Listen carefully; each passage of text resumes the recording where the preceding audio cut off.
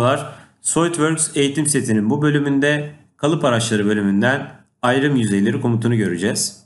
Ayrım çizgileri ve boşluklarını kapattığımız parçamızda ayrım çizgileri üzerinden görmüş olduğunuz gibi bir ayrım yüzeyi yapacağız. Erkek ve dişi oluşturmadan önce.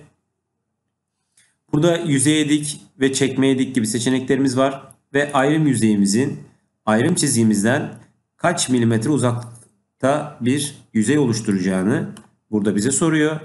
Biz bu yüzeyi biraz arttıracağız. Birbiriyle şurada görmüş olduğunuz kesişmeleri yapmadan sonlandıracağız. Ve onay vereceğiz.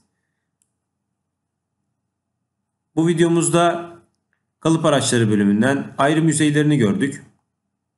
Ayrım yüzeylerimizin üzerine daha sonrasında erkek ve dişiyi oluşturma komutu için kullanacağız. Bu yüzeylerimiz bizim erkek ve dişimiz için kalıplarımızın tam ayrılacağı yüzey olacak.